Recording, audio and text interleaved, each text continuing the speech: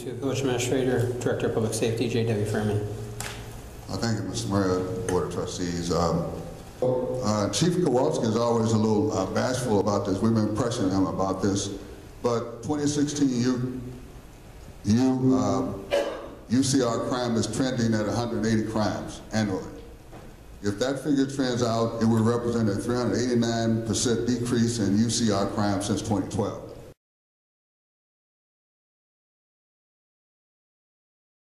Three hundred eighty-nine percent decrease. Three hundred eighty-nine percent decrease. Three hundred eighty-nine percent decrease.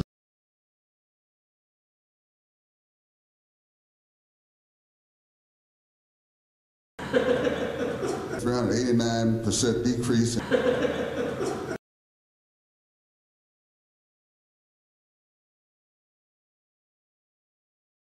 Three hundred eighty-nine percent decrease.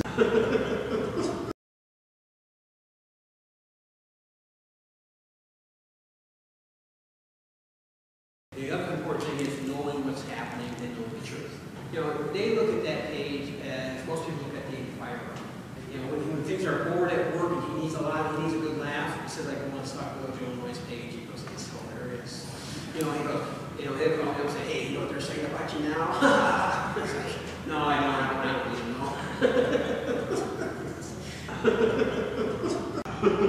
know.